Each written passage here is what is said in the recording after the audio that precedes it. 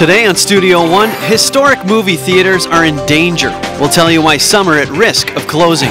Also, we'll look at the facts about working out in the morning versus later in the day. And we'll meet a family that travels the country with big bucks. From the University of North Dakota in Grand Forks, this is Studio One. Hello, everyone, and welcome to Studio One. I'm Monty Cashel. And I'm Katie Fletcher. And thanks for joining us. One of the people we are going to be talking to gets to fly through clouds all the time. That's always my favorite part in an airplane is going through the big fluffy Oh, clouds. definitely. You know, peering out the window and looking out those white, big, puffy clouds. Except when he goes through them, he's really measuring really precise measurements of certain things. He's actually doing research for NASA while he's doing it. So he's going to come on and we're going to chat with him about all the things they're doing with a special jet that they use. Okay, that should be interesting. Yeah. Also on the show, old fashioned film is coming to an end in a digital world. Find out why some movie theaters will have to close. And many want to make the world a better place. Later, we will talk to a man who teaches others how to create a positive impact on society. Before we get to all of that, here's today's news with Stephanie Shire. Thanks, Monty and Katie. After 32 hours of continuous gunfight, the man suspected for seven murders in France is dead. On Thursday, the police seized the suspect's apartment in Toulouse. The suspect was an Islamic extremist who claimed to be a member of Al Qaeda. Mohammed Merah was wanted for the deaths of three paratroopers, three Jewish schoolchildren, and a rabbi. He said he wanted revenge for murder of Palestinian children. He also wanted to take revenge on the French army for its foreign intervention in the Middle East. The suspect was by police as he jumped out of his apartment window. Crews in Mexico are surveying homes, schools, and hospitals to gauge the damage from Tuesday's powerful earthquake. The 7.4 magnitude quake struck southern Mexico.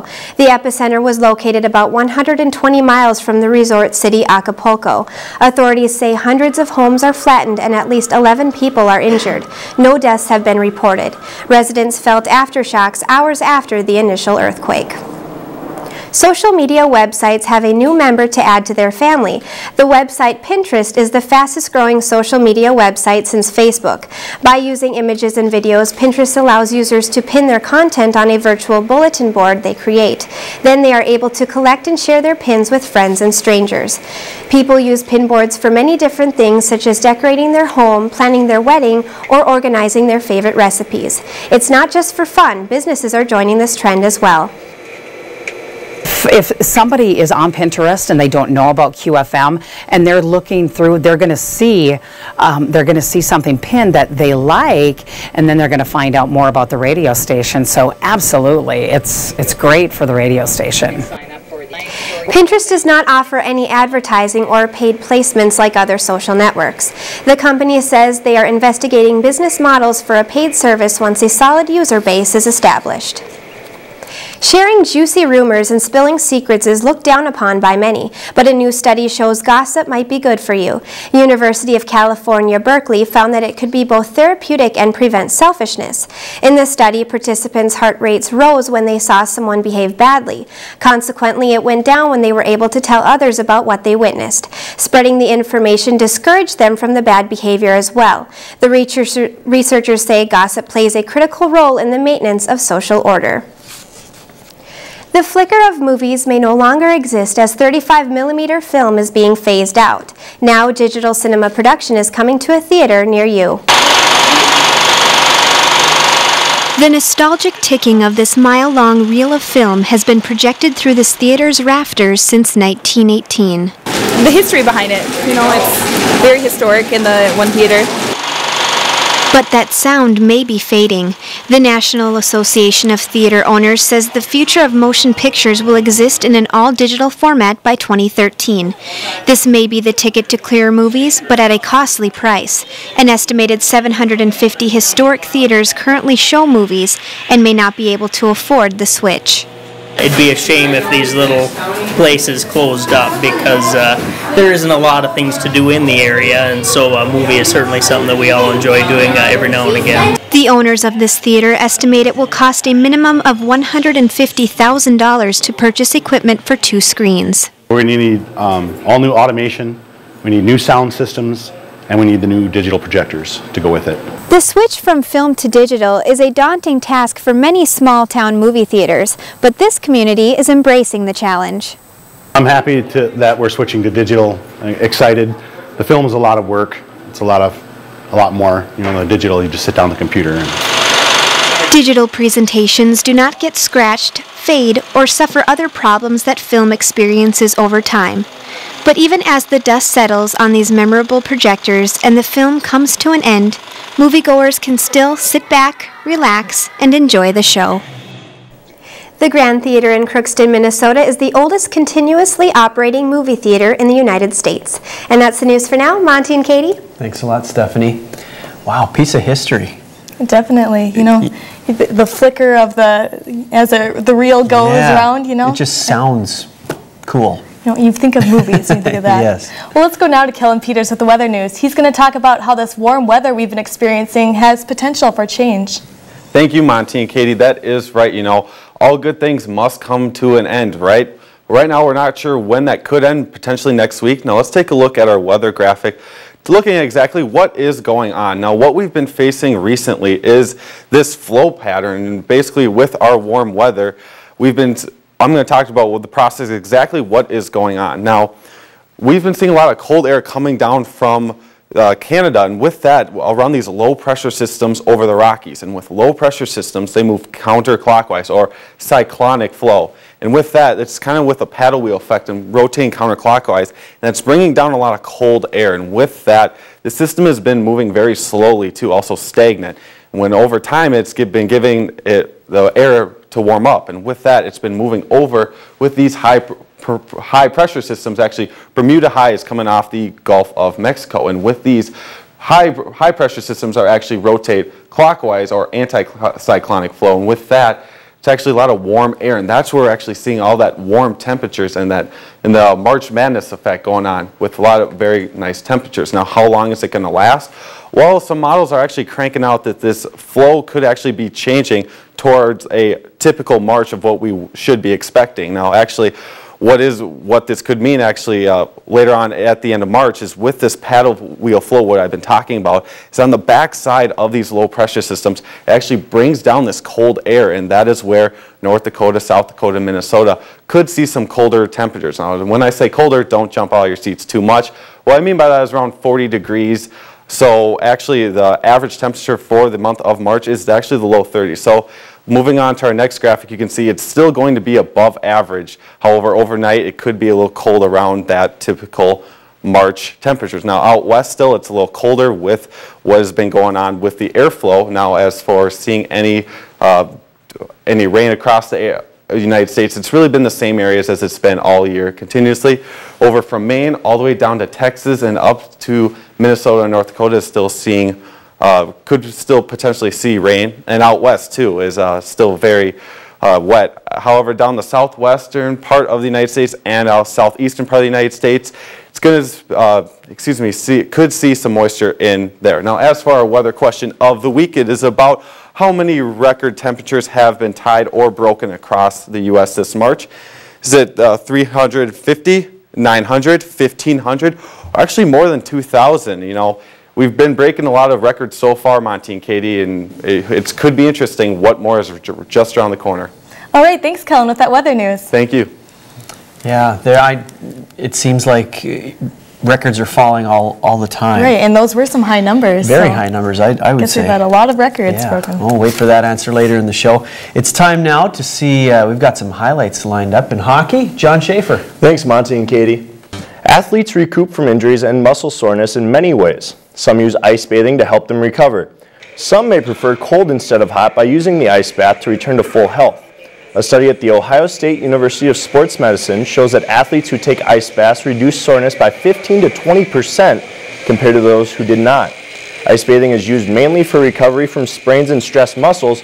Professionals say when using an ice bath after an injury, the sooner the better. It keeps that swelling to a minimum. And if you can do that, you recover quicker, you get functional quicker, especially if you do it within the first 48 to 72 hours.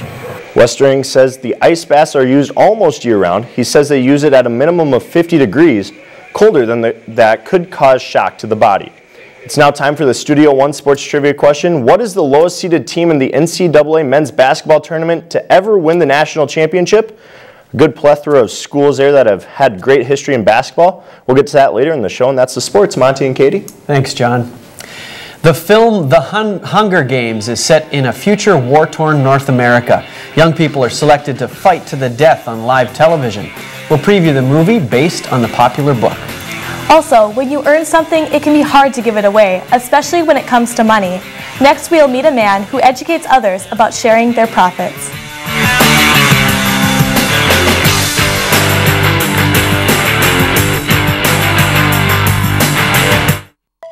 The University of North Dakota School of Medicine and Health Sciences is meeting the challenge of future healthcare workforce shortages. The state's only medical school produces the highest percentage of graduates nationwide who choose family medicine. Advanced degrees are also offered in basic medical sciences like anatomy and health professions like physical therapy. Students learn and train throughout the state. In that way, we really are North Dakota. Make your choice the UND School of Medicine and Health Sciences. At the University of North Dakota School of Engineering and Mines, improving the world is our project. This could be your next road. Our research helps heat your home without hurting the environment.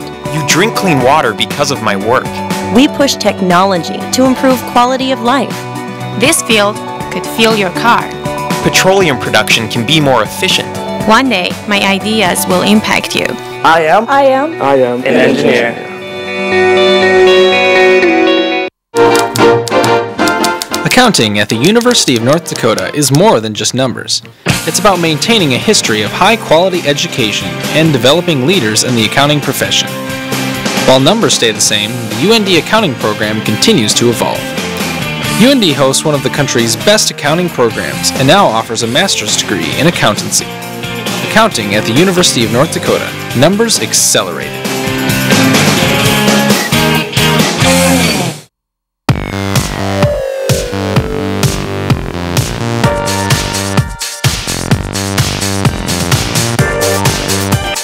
Studio One is a television show produced by students at the University of North Dakota. You can be a part of the graphics team, the marketing team, news team, programming team, production team. Training never ends. You get to produce guests, you get to do the reporting side of it. It's really worth the experience. You will not regret it. Others live to their full potential. Improve clients' mental and physical well-being. Excel in one of the top healthcare careers of the future. Occupational therapy students at the University of North Dakota experience high-quality education in small classes. Has to come to 45 degrees, okay. even in a normal motion pattern. Your healthcare career begins at the University of North Dakota. You're watching Studio One, twice named the best college television show in the nation by the National Association of College Broadcasters. There are hardships in society that must be faced every day. The awareness of these problems makes up a person's social consciousness. Associate Professor of Public Administration Jason Jensen is here to talk about the importance of this awareness when starting a business. Thanks so much for coming on the show today. Thank you for inviting me. So you developed this new course about social entrepreneurship. Could you tell me a little bit about that? Well, uh, it's actually a, it's a graduate certificate, and um, it's comprised of four courses, and the courses all relate to social entrepreneurship uh, or social enterprise. And so, the idea was to create an opportunity for students uh, after they graduate with a bachelor's degree to pursue this uh, subfield of nonprofit management and entrepreneurship called social entrepreneurship, which is uh, recognizing a problem in the world and then using entrepreneurial principles to resolve the problem. Uh, and, and so it's four courses, and it's newly available this semester uh, for post-bac students. How has your background kind of helped you develop this course? Well, my background uh, was in nonprofit management. I was the uh, director of a treatment facility for adolescents, and, and then I went back for, for graduate education and got my PhD in public administration. Public administration is very related to nonprofit management, and when I, uh, I got my first job here at UND, I developed a course in nonprofit management. and, and then I uh, had been teaching that for a while, and a student came in my office one day and, and gave me a book and said, you have to read this. And that book was by Bornstein, How to Change the World. And so I read that, and I was inspired, and I would invite a lot of, you know, every, anybody else to read that book as well. Um, and one thing led to another, and I integrated uh, that into my nonprofit management course, and then I began to develop the certificate in, in uh, social entrepreneurship. Okay, so that's kind of how you wanted, decided to create this course. What do you hope to accomplish through it?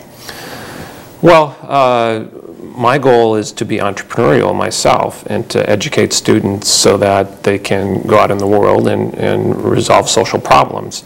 And so I see it as universities are supposed to be in the business of creating social capital.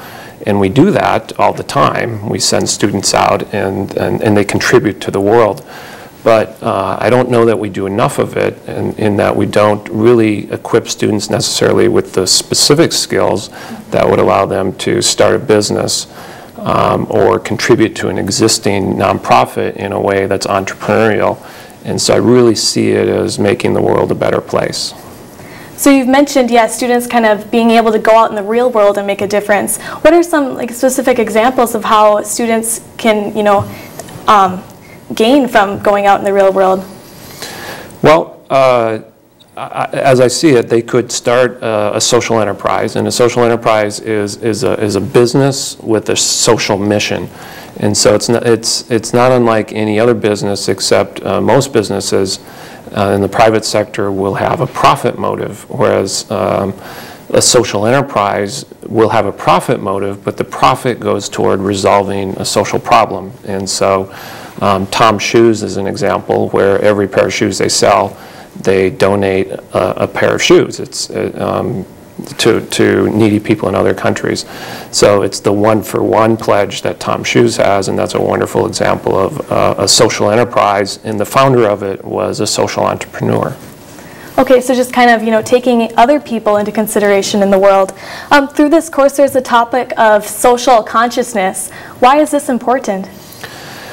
Well, again, I think as a university, we have to be in the business of creating um, socially responsible citizens. And, and so we serve the state of North Dakota, and I'm not saying that the students we graduate aren't socially conscious, but I think we can do more to contribute to that. And then once they graduate, no matter what field they're in, if, uh, if they've had, had been exposed to social enterprise and social entrepreneurship, then I think even if they move into the private sector, that social mission idea will always be in the back of their head. And if they have the opportunity to create a social enterprise or to um, establish a social mission in an existing organization, that makes the world a better place. Uh, and then the nonprofit sector as well, that if uh, students choose to work in the nonprofit sector, well, all of those organizations already have a social mission. Um, and, and, and so they would be instituting entrepreneurial principles into nonprofit organizations, which is also good. Is this approach to social consciousness different now than in the, the past? Uh, I don't necessarily think so. I think the United States has a very rich history of nonprofits, and, and that's a good thing. But um, at times, the nonprofit sector, the third sector, hasn't really been as entrepreneurial as possible. That is, they depend on charity rather than um, finding alternative mechanisms to raise revenue, such as selling a product. And so that's sort of the bridge from the traditional non nonprofit sector to the entrepreneurial nonprofits and then to the social enterprises, which aren't nonprofits, but they're uh, private businesses. Before we go really quickly, how can these organizations help to foster social, social change? Well, uh, by raising revenue that keeps the organization going to support their social mission. And so all of these organizations will have a social mission. Uh, that's what makes them different from a traditional business, which they don't have a social mission. And it, it, might be that that's the entire mission of the organization, or it might be part profit motive and part social mission. Uh, and again, the, the upside is that uh, the world's becoming a better place if more people uh, think like this. Right, thanks so much for joining us and talking about this course you have developed. Thank you very much. I appreciate the opportunity. Coming up, some people prefer to get it done first thing in the morning. Others embrace their energy late at night. Find out the debate about the best time to exercise. Also, hunters enjoy the hunt for the perfect buck. We'll meet a family man who turns this enjoyment into an inspirational message.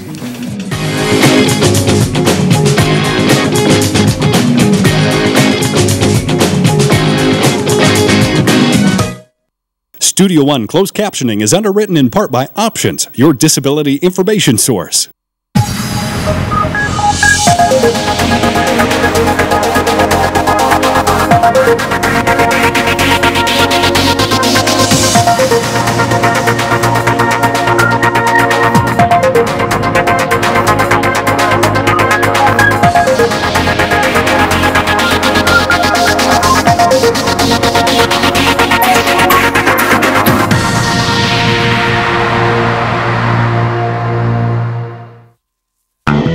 What does cancer look like? What about diabetes, heart disease? Medical laboratory professionals are a vital link in the treatment of disease and maintenance of health. They investigate clues found in the body that will direct patient care. The University of North Dakota's laboratory science programs are some of the most innovative, far reaching, fully accredited programs in the nation. The UND School of Medicine and Health Sciences can help you become one of the few who see beneath the surface.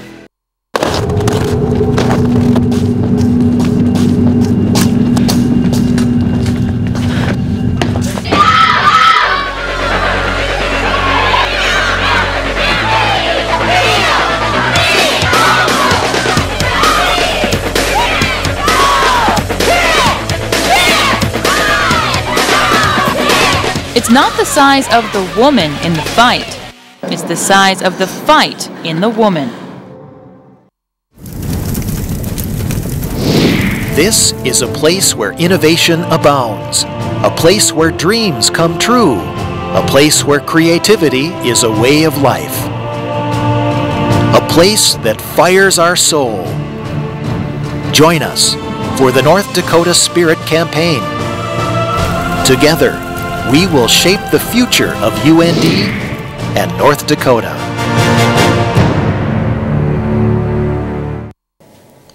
A new sci-fi movie is poised to be the blockbuster of the year. Hunger Games is set in the ruins of what was once known as North America. 24 youngsters are picked to take part in a televised fight in the fictional nation of Panem. Only one of them will survive. The main character in the film is a 16-year-old played by Jennifer Lawrence. She volunteers for the games after her baby sister is drafted. The film shows her fight for survival through trust, love, and humanity. she's got a pretty great life um, under the circumstances. She's she's happy. She likes to hunt, and then she gets her little sister, who's 12, gets chosen for the Hunger Games. The film is based on a novel written by Suzanne Collins. The novel has sold more than 26 million copies in the U.S. alone. When writing the novel, Collins was inspired by classic sci-fi writers like George Orwell. She mixed in the contemporary obsession with reality TV. Hunger Games is rated PG-13 and will be in theaters March 23rd. Now it's time to take a look at the events happening in your area.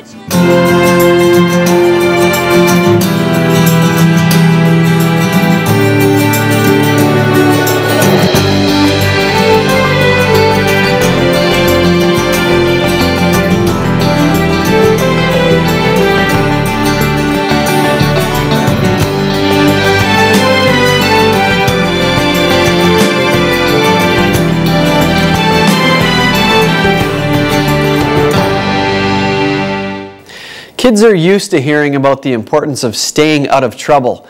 We met a man who put a living twist on inspiring kids. At this sports show, there are some displays that score more points than others, and one could wonder what all these people are fawning over. I'll introduce you to Wiley at one, Wiley at five, right? I can, we can do this all day long, show you just how fast they grow. To some spectators, they may look like a couple of men with deer, but to Steve Porter and his sons, these deer are more like family. The favorite one on the trailer is probably this one right here, Stormin' Norman. Nearly 20 years after starting his business, Steve says it has become more than just raising deer. Before the hunting season even begins, Steve and his sons hit the trails traveling to schools across the Midwest. And their message goes beyond the simple thrill of hunting. Youth are important, and we want our youth to be actively involved in the outdoors. Just this year, that's all we have. Steve's background is in law enforcement. He says his deer help inspire students to find an outlet to have fun without breaking the law. We know that kids who wear camel coats and kids who are out setting up goose decoys at 6 in the morning probably aren't going to be breaking into a pop machine at 3 a.m. Even while influencing other people's kids, Steve remembered to impress values on his own. I wouldn't miss it for the world. It's been the most exciting thing I can th possibly think of. Now it's a business, it's paying for itself, it's making, you know, pretty good money. But, it, but if we took all of that away, and all I had was uh, my boys actively working and enjoying this farm, it would be it would be worth it just for that reward. So whether it's sitting in a classroom or up in a tree stand, Steve encourages students to aim for success. With photographer Devin Krinky, this is Olivia Fox reporting for Studio One. The Porter family has 46 deer on their farm. Only three of those deer, Shifty, Redwood, and Stormin' Norman, travel with them. Coming up, climate change over the last 30 years has caused a change for gardeners. Find out the new guidelines for planting and why some regions are excited. That story plus news, sports, and weather in the next half hour of Studio One.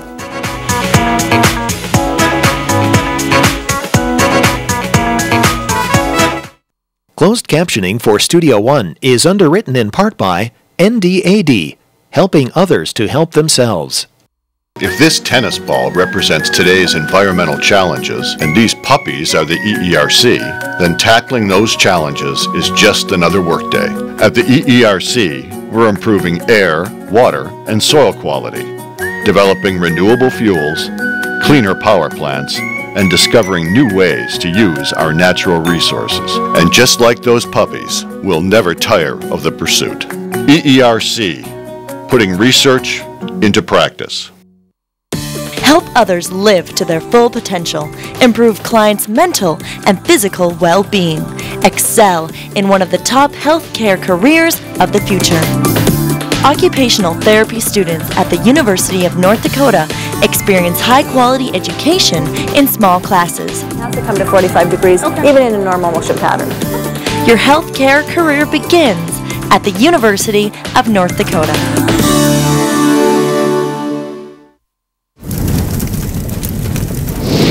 This is a place where innovation abounds, a place where dreams come true, a place where creativity is a way of life, a place that fires our soul. Join us for the North Dakota Spirit Campaign. Together, we will shape the future of UND and North Dakota. Your future depends on this moment.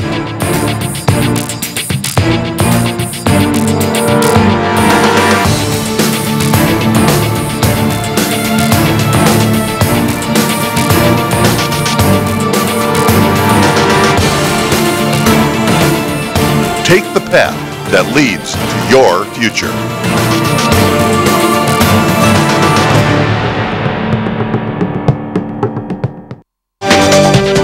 The University of North Dakota in Grand Forks, this is Studio One.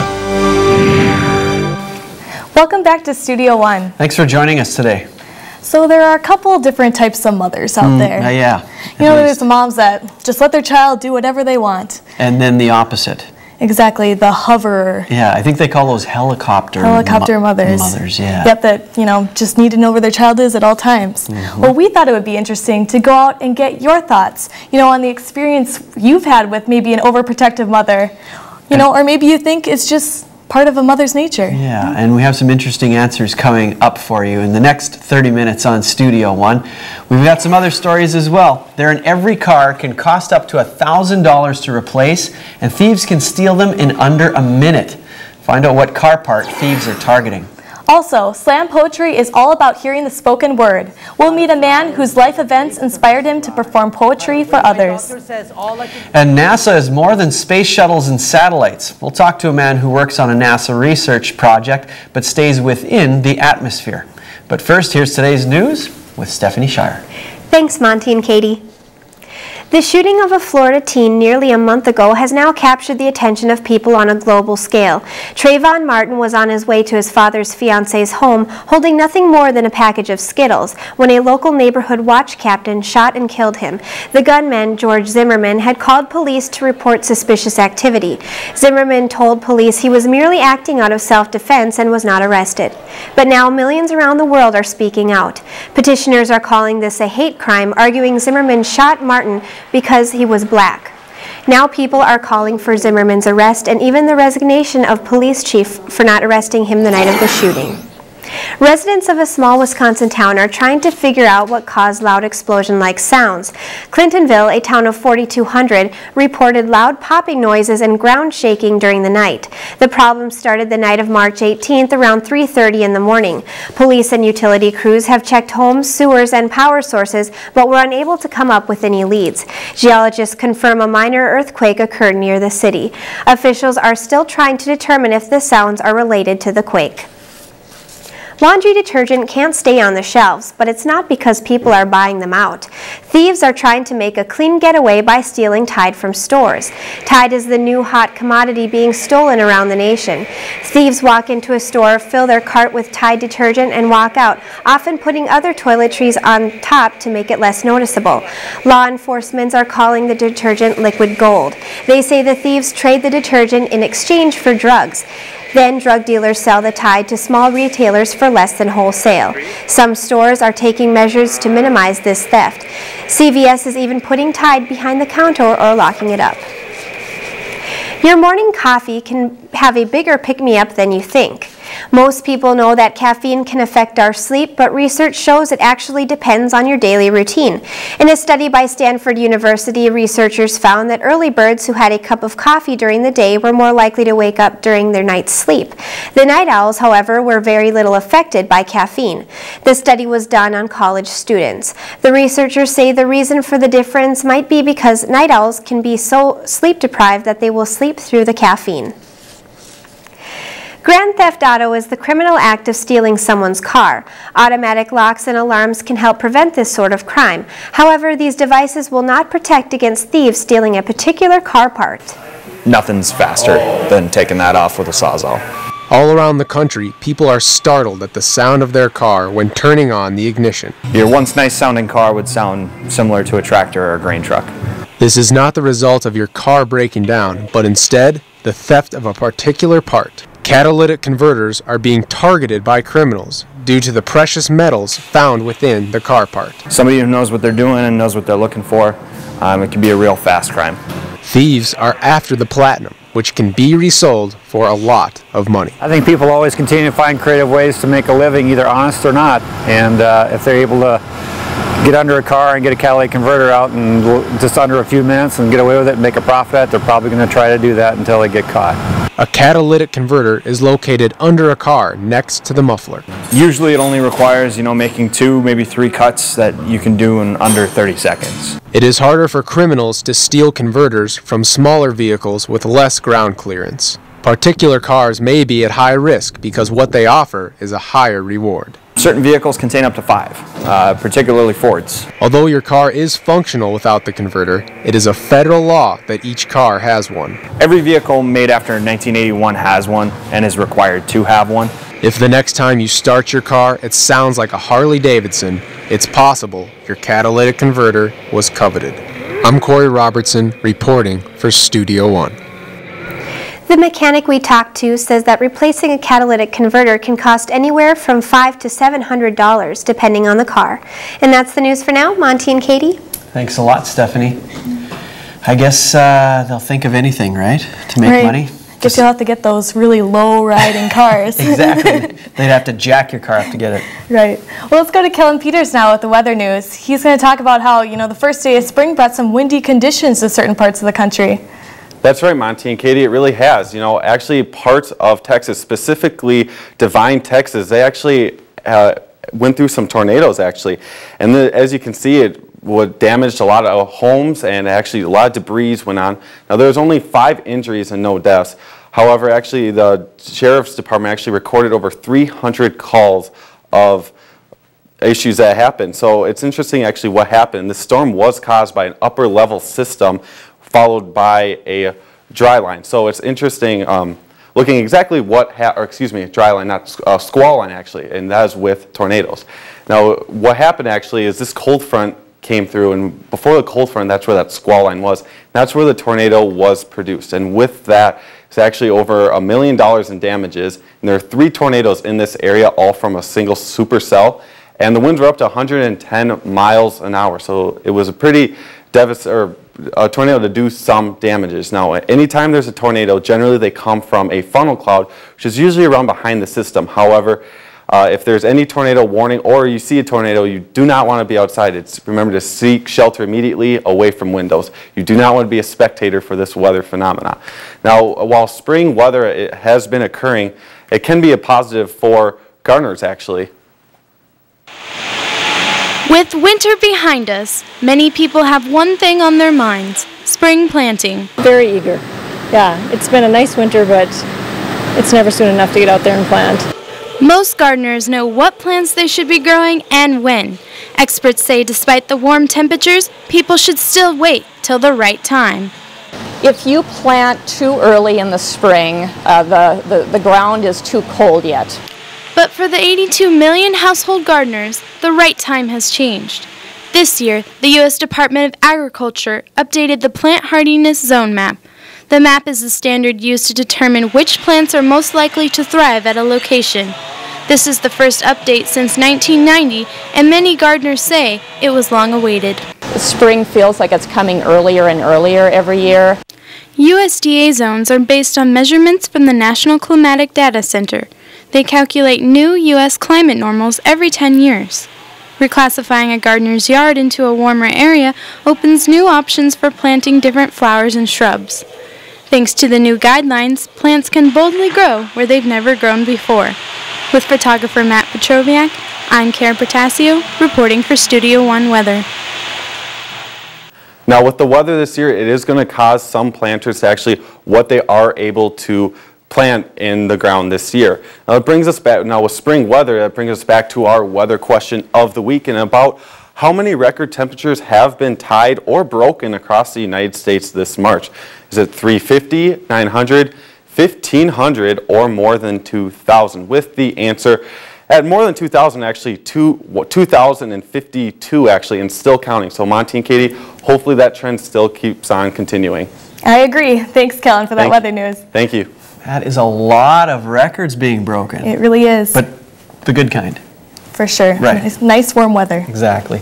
Okay, let's turn to sports one last time. And John Schaefer. Thanks, Monty and Katie. It's no secret that obesity is a serious problem in the U.S. Experts say diet and exercise is the only cure, and some wonder the best time of day to burn calories. At 7 a.m., many people are getting out of bed, while others are already feeling the burn. I like coming in the morning because there's not as many people. It's been a long time debate over what's better, working out in the morning or at night. Fitness experts say there are benefits to both. If it's for general fitness, any time of the day, just make it a part of your daily life. Research by the University of North Texas found that it's different for each person. People's daily cycles that regulate body temperature, blood pressure, and metabolism are all unique. Some might feel more energized in the morning during a workout, while others feel stronger as the day goes on. The researchers also say a person's daily cycle can be reset based on behavior. It really doesn't matter what time of the day you work out as long as you're making that time to do it. The time of day for exercise may be a personal preference, but feeling your body is not. Food is your fuel. And in order to um, be able to do the things you want to do with your workout, you're going to need to fuel yourself in the right ways. Fitness experts say if you don't eat before working out, you may not reach your full potential. It's recommended to not work out directly after a big meal, but not an empty stomach either.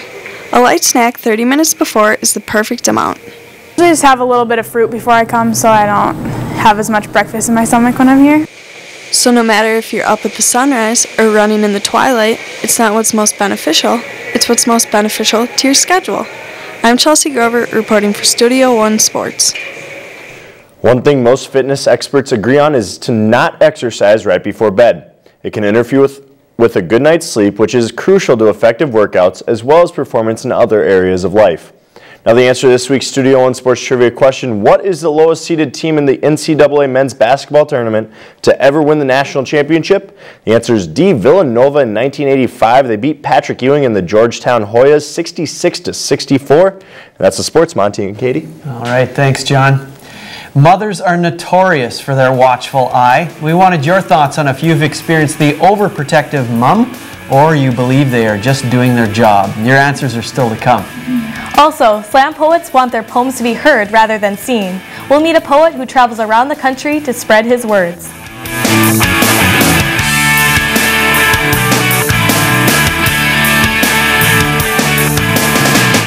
If this tennis ball represents today's environmental challenges and these puppies are the EERC, then tackling those challenges is just another workday. At the EERC, we're improving air, water, and soil quality, developing renewable fuels, cleaner power plants, and discovering new ways to use our natural resources. And just like those puppies, we'll never tire of the pursuit.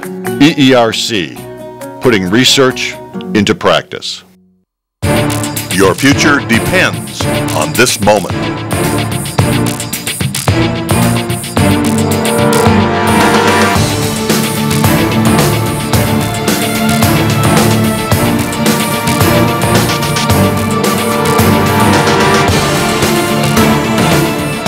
Take the path that leads to your future.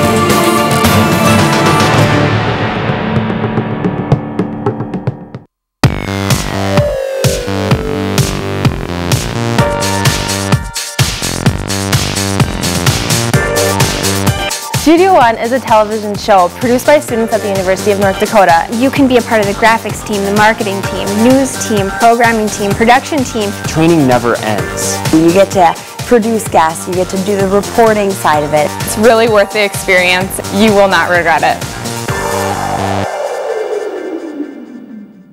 At the University of North Dakota School of Engineering and Mines, improving the world is our project. This could be your next road. Our research helps heat your home without hurting the environment. You drink clean water because of my work. We push technology to improve quality of life. This field could fuel your car. Petroleum production can be more efficient. One day, my ideas will impact you. I am. I am. I am an engineer.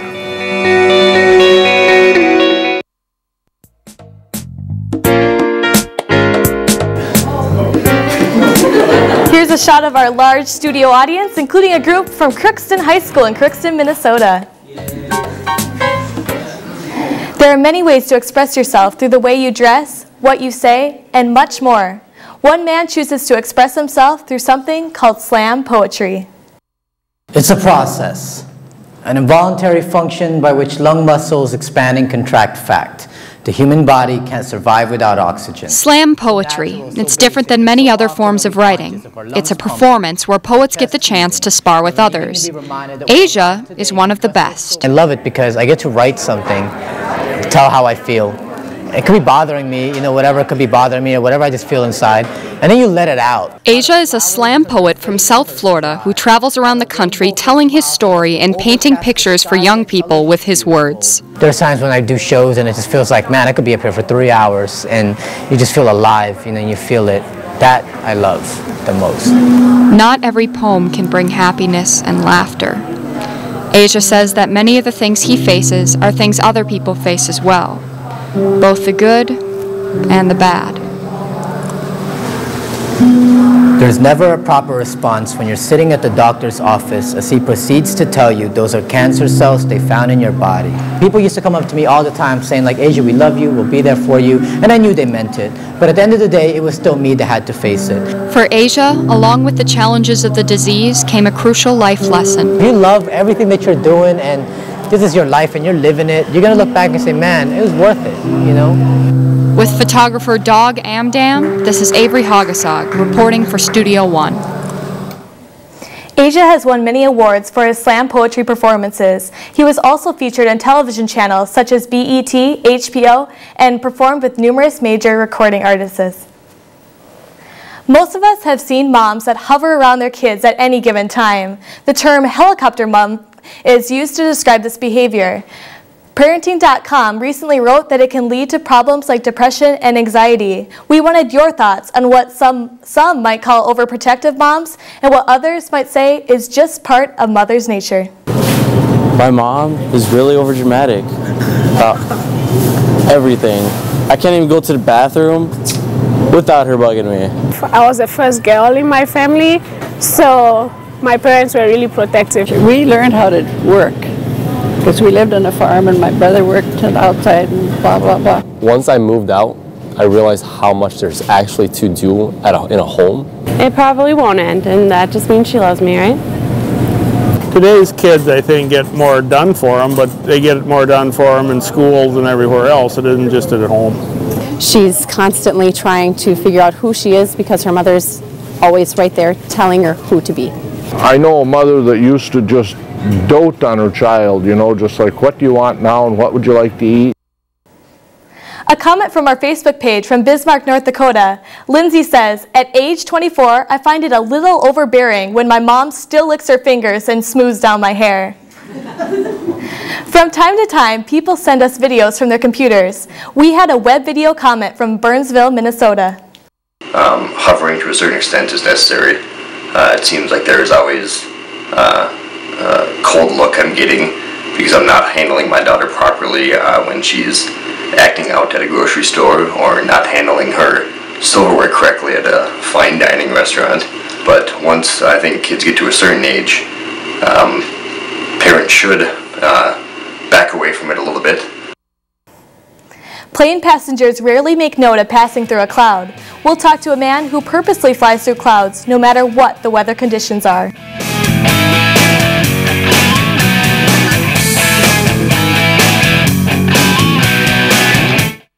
Closed captioning for Studio One is underwritten in part by the Listen Center, where meeting friends at Listen is a groovy thing to do and has been since the days of Woodstock.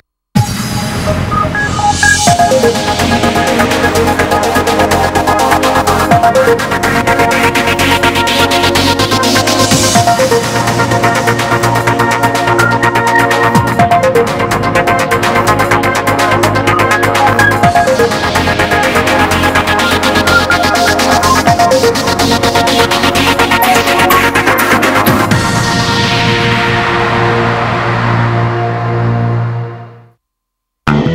does cancer look like? What about diabetes, heart disease? Medical laboratory professionals are a vital link in the treatment of disease and maintenance of health. They investigate clues found in the body that will direct patient care. The University of North Dakota's laboratory science programs are some of the most innovative, far reaching, fully accredited programs in the nation.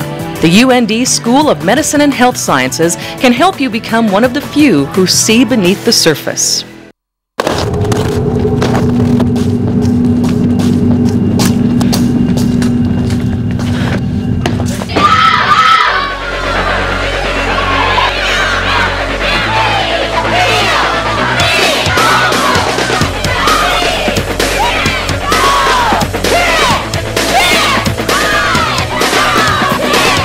Not the size of the woman in the fight, it's the size of the fight in the woman. This is a place where innovation abounds, a place where dreams come true, a place where creativity is a way of life, a place that fires our soul. Join us for the North Dakota Spirit Campaign. Together, we will shape the future of UND and North Dakota.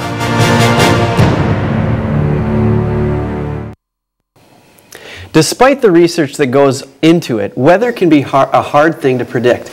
The University of North Dakota Department of Atmospheric Sciences has a research jet that's being used to gather information for NASA.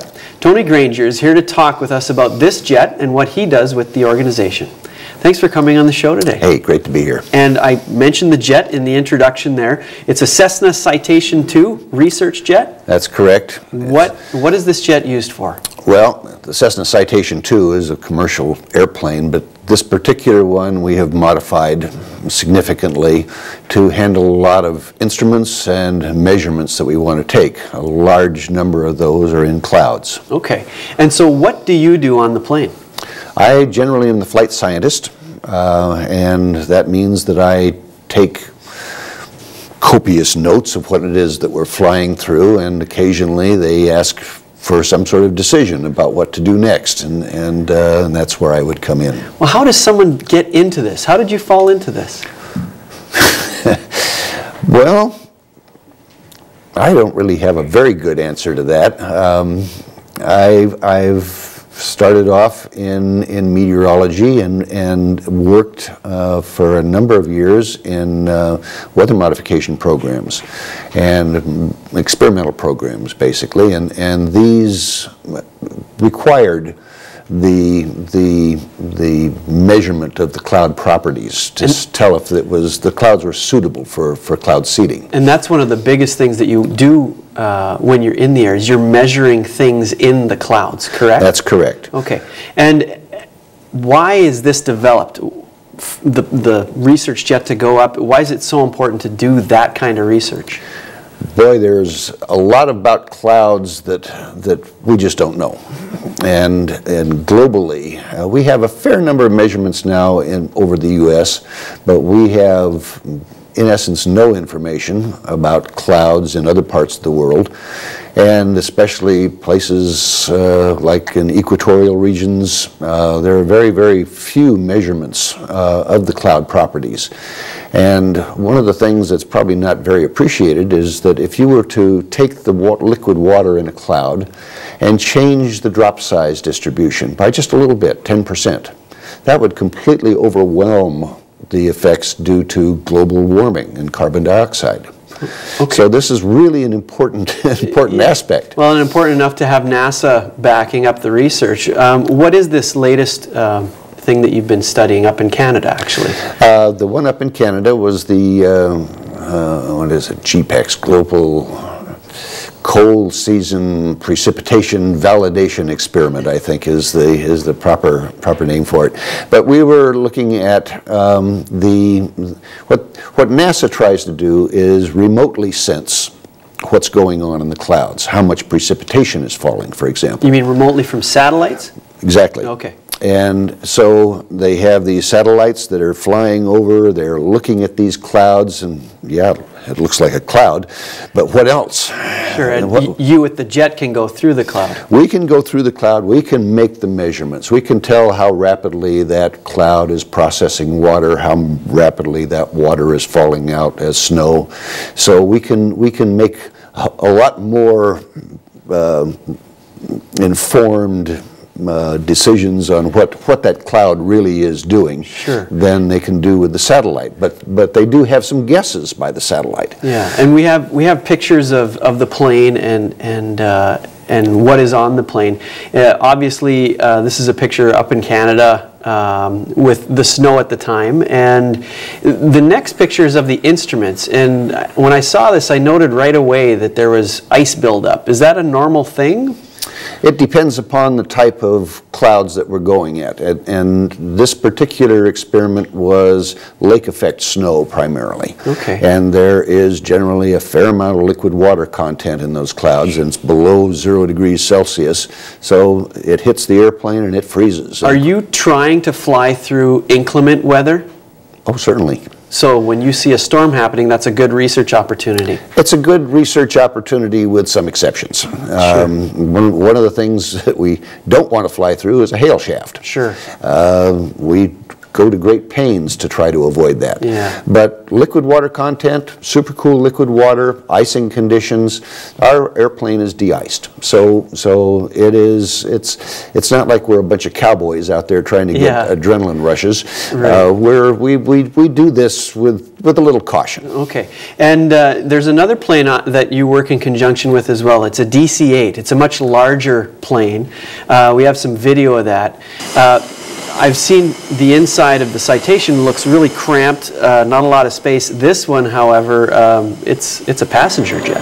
Oh yeah, a DC-8. That's what that's they flew passengers. This, and you you could even I could walk down the the aisle in there without having to stoop over or crawl. Um, and the DC-8, I mean, it's got it's got big engines. It's got lots of space. It's got hot and cold running water. I mean, it's it's got just lots of facilities, and it can carry a big payload. I have to ask you this lastly here. What gets you still excited about doing this research? The, it's fun. It is really fun. How many how many meteorologists get to go up and actually dwell in the medium that they're they're they're studying? So instead of looking at the clouds, you're going through them. That's right. All right. Exactly. Well, Tony, thanks so much for coming on today. It was very interesting talking to you. Well, it was good to be here. All right. Well, you're watching Studio One from the University of North Dakota. We'll be back right after this.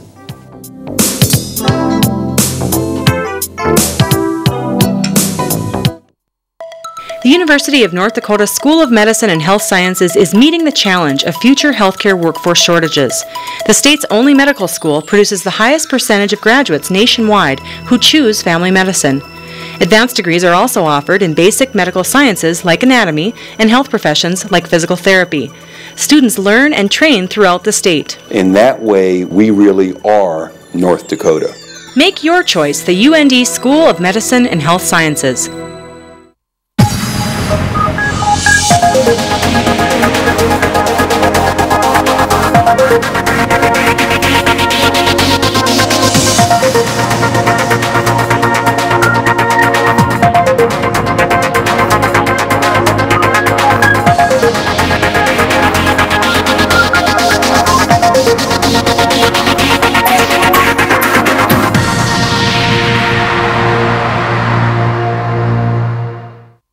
This tennis ball represents today's environmental challenges and these puppies are the EERC, then tackling those challenges is just another workday.